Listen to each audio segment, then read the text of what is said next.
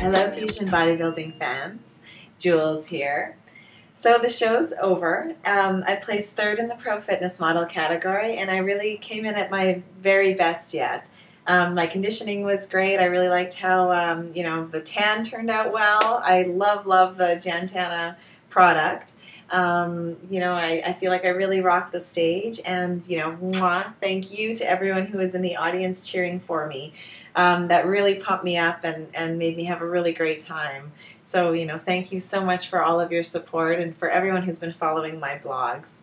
Um, since the show and, and actually even a few days before the show i've been rocking lots of photo shoots so there's been you know tons of opportunity for me this year and um, you know you'll be seeing more of me and, and those shots starting to come out um, today I had an eight hour marathon shoot in Winnipeg, and the weather couldn't have been better. Um, so, you know, it's all re- really ending on a great note. But, um, but of course, you know, it's not over yet. The Olympia Expo is coming up, and I plan to be the most ripped girl at the expo representing Fusion Bodybuilding well.